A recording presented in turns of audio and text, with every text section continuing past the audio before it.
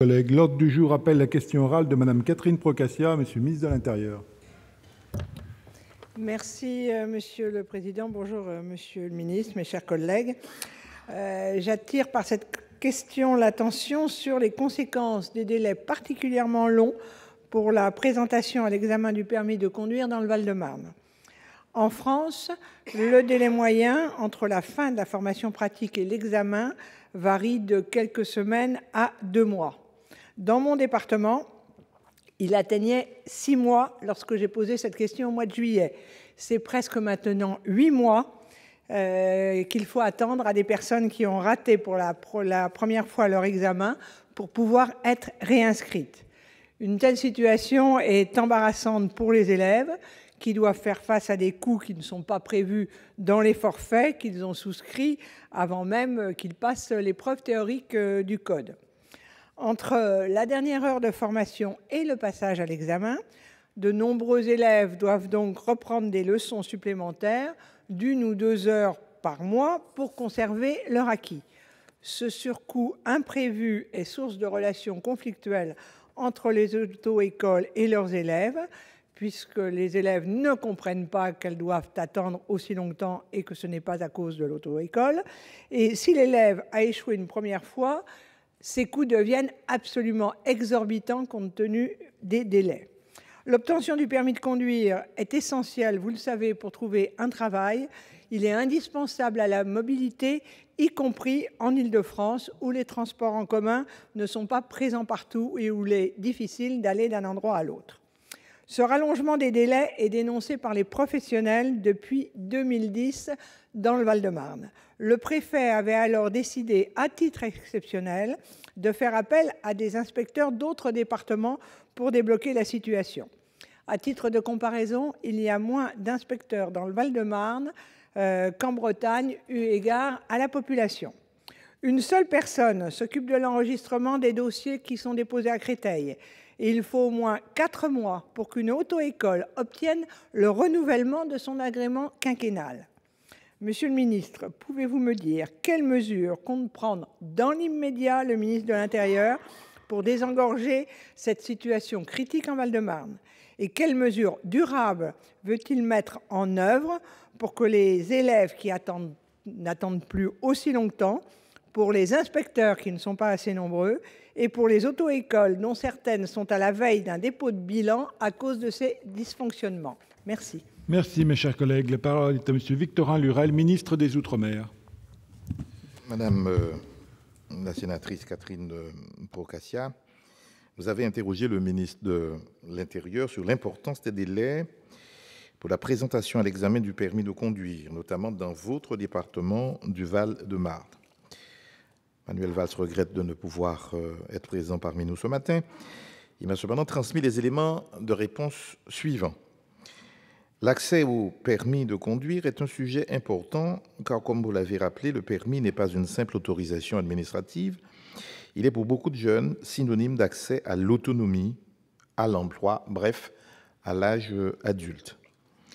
Comme vous le savez, le nombre de places auxquelles euh, chaque école de conduite peut prétendre pour présenter les candidats à l'épreuve pratique est fixé selon une méthode nationale qui tient euh, compte notamment de la réussite de chaque école durant les 12 derniers mois. Cette méthode d'attribution est complétée par plusieurs dispositifs qui permettent d'augmenter l'offre d'examen au niveau départemental lorsque celle-ci est saturée.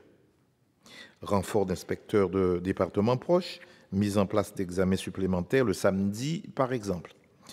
Ces dispositifs permettent d'accorder des renforts ponctuels au département dont le délai d'attente entre deux présentations est supérieur à la moyenne nationale, en particulier à certaines périodes de l'année correspondant à un afflux des demandes. La mise en œuvre de ces mesures a permis d'obtenir sur l'année 2012 un délai moyen d'attente d'environ 86 jours au niveau national. 86 jours. Dans le département du Val-de-Marne, ce délai est supérieur, avec 120 jours. Même s'il n'atteint pas la durée euh, de six mois que vous avez mentionnée, ce délai reste trop long. C'est pourquoi le Val-de-Marne a bénéficié au cours des neuf premiers mois de l'année 2013 d'environ 100 examens supplémentaires par mois ce qui correspond à un renfort équivalent à un inspecteur du permis de conduire et de la sécurité routière à temps plein. De plus, la longueur des délais dans ce département s'explique aussi par un taux de réussite à l'examen inférieur au taux national sur l'année 2012, 51,58% dans le Val-de-Marne contre 59,13% sur l'ensemble du territoire. Pour autant, le ministre de l'Intérieur est conscient de la nécessité d'ouvrir une réflexion globale sur la question des places d'examen. C'est pourquoi il a demandé à la présidente de la commission Jeunes et Éducation routière du Conseil national de la sécurité routière de mener une concertation élargie sur ce sujet et de proposer un plan d'action. Merci. Madame Procassia.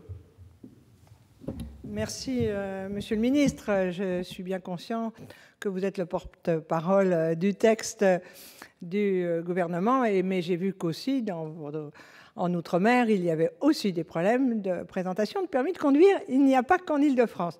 Ce que je veux simplement signaler, c'est que cette durée moyenne et ce taux de réussite on ne peut pas, si on se base sur le taux moyen entre l'Île-de-France, le Val-de-Marne et le reste de la France, dire que 52%, c'est euh, un taux d'échec plus faible, mais c'est normal. Vous, avez, vous circulez en Île-de-France, vous voyez que sur une heure de conduite, euh, on peut passer 45 minutes bloqués dans des encombrements.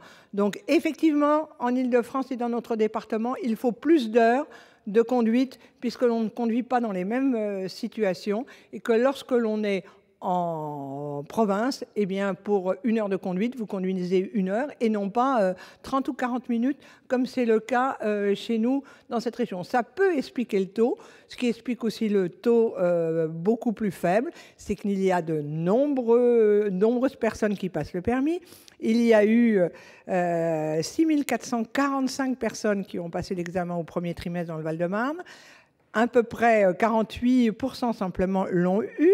Et entre-temps, il y en a eu, euh, il y a eu 2848 demandes. J'ai fait le calcul, monsieur le ministre. Ça veut dire que sur l'année, on va avoir 25 000 personnes qui, sont, le qui ont demandé le permis de conduire et on en a 12 000 en attente puisqu'on ne peut pas réserver le taux. Donc il y a une réflexion qui est menée euh, peut-être, mais il faut tenir compte du stock et non pas du flux permanent. En Ile-de-France, la situation est plus tendue qu'ailleurs. Je trouve qu'il faudrait faire euh, quelque chose, sans compter qu'un tiers des examens ont été annulés suite à la grève euh, des inspecteurs euh, du mois de, décembre, eh bien, si un tiers ont été annulés, ça va encore augmenter euh, le nombre de personnes et encore retarder le passage de tous ces, de tous ces jeunes. J'espérais, Monsieur le ministre, que Monsieur le ministre de l'Intérieur dirait je mets euh, momentanément des moyens supplémentaires à disposition de la préfecture, en mettant une personne de plus euh, euh, pour examiner les dossiers, en mettant une personne qui puisse regarder le réexamen des autorisations des auto-écoles. C'est quand même absolument incroyable qu'on dise aux auto-écoles, bah, ça fait quatre mois que vous avez demandé votre dépôt de dossier, mais je ne peux pas le réexaminer euh, votre agrément, donc je vous le donne d'office sans le réexaminer parce qu'on n'a pas les moyens. Ce sont quand même des situations qui sont complètement euh, aberrantes. On m'annonce une concertation, ben, ça veut dire que vous annoncez, euh, Monsieur le ministre de l'Intérieur, et non pas vous, Monsieur Lurel, mais le ministre de l'Intérieur, annonce clairement et simplement à tous les gens du Val-de-Marne, aux inspecteurs, aux auto-écoles et aux, aux, jeunes et moins jeunes qui passent leur permis de conduire, que rien n'est prévu pour améliorer la situation rapidement.